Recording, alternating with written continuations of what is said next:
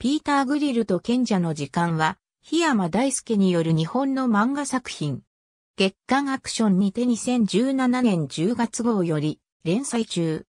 アジンが存在する異世界にて地上最強の男となるピーター・グリルを主人公としたストーリーが描かれる。ピーター・グリルは武闘祭を勝ち抜き、ついに最強の称号を手に入れた。意中の相手であるルベリア・サンクトゥスとの関係もうまくいくと信じていたその時、異種族の女たちから積極的すぎる上に尋常ではないアプローチを受けることとなる。すなわち、性行為をして、子種をグリルからもらおうとするわけである。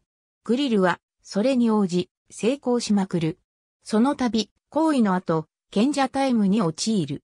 最強とは言っても、その間は、げっそりとしてしまう。